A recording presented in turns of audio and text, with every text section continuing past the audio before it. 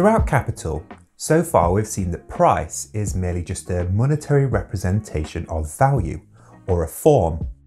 In the previous chapter, we saw a form of that form represented by time wages. In this chapter, Marx now examines a form of the form of the form, or a way that time wages can be represented by piece wages. The piece wage is nothing but a converted form of the time wage, just as the time wage is a converted form of the value or price of labour power. Piece wages and piecework are when the labourer receives their amount of wages depending on how many products they produce in a given period of time. For an example, a worker being paid £3 for every 24 lollipops they produce in a day. While this at first only looks like a slight variation to time wages or an unimportant distinction, but by examining this form a little closer, we can actually understand how piece wages are very deceptive in their relationship to the wage form. Piece wages do not, in fact, distinctly express any relation of value. It is not, therefore, a question of measuring the value of the piece by the working time incorporated in it, but on the contrary, of measuring the working time the labourer has expended by the number of pieces he has produced. Firstly, precisely because they are a simple form of time wages is what makes them so deceiving, even to the labourers themselves.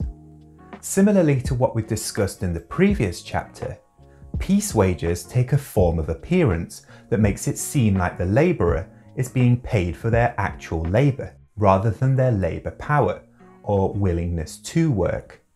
To the labourer, it appears as if they are being paid directly for their work, X amount of money for Y amount of commodities produced.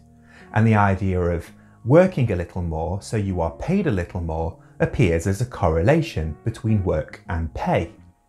However, the actual price of piece wages are carefully manipulated by capitalists to keep wages at the level of the value of labour power. For example, let's say our labourer works 12 hours a day making lollipops, 6 hours necessary labour and 6 hours surplus labour. And let's say 24 lollipops are produced in a day. We'll say the value of all 24 of these lollipops combined is £6.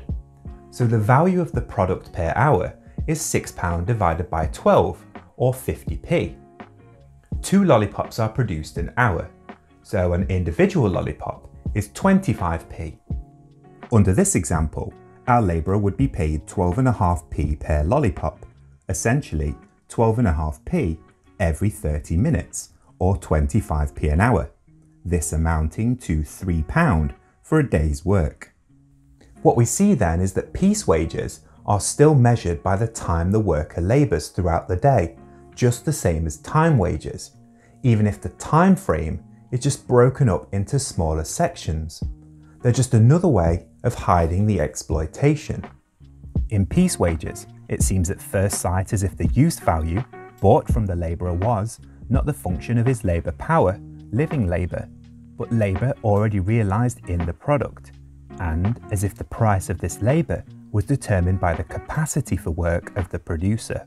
Now, because the workers assume they'll be paid more for performing more work, individual workers may increase the speed at which they work, work for longer hours, and even produce more products in a day.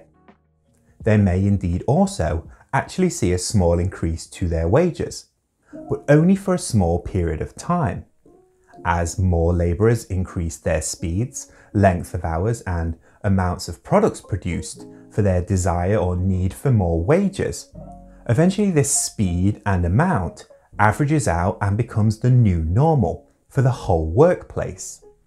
As this happens, the capitalist simply lowers the amount they pay for each piece produced, effectively keeping wages at the same level.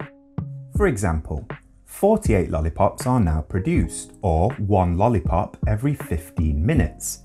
So the price paid per lollipop to the workers is lowered from 12.5p to 6.2p, essentially 6.2p every 15 minutes, which still results in 25p an hour, and thus still resulting in £3 at the end of the day. So while there may indeed be a short term gain for a few individual labourers.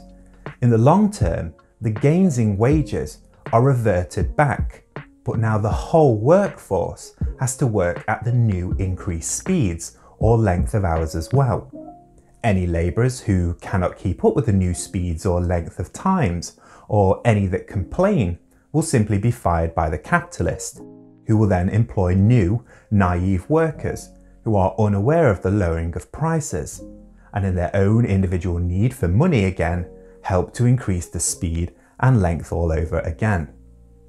Since the quality and intensity of the work are here controlled by the form of wage itself, superintendence of labour becomes in great part superfluous.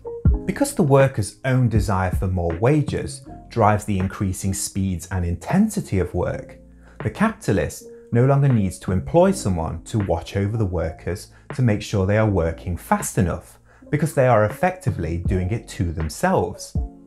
The exploitation of the worker by capital here becomes affected by the exploitation of the worker by the worker. As a side note, if we remember back to chapter 7 and the discussion on how the human species being of labour under capitalism becomes alienated from the worker and instead becomes transformed into an outside force that dominates them. Here, then, the effect of piece wages pays the additional psychological cost, not only of alienation, but of now enforcing that alienation on themselves. Marx finishes the chapter with a few historical examples of piece wages and some excerpts from the factory inspection reports that deal with both capitalists decreasing the prices per piece and also the labourers' struggles against it. The reports conclude that many places that decreased the prices per piece saw increased speeds and intensity levels of their workforce. We also see that piece wages tend to be used for jobs where less machinery is used, or where the machinery doesn't dictate the speed and intensity, instead being mainly used to increase productivity for those jobs where the workers have a bit more control over their tools and labour processes.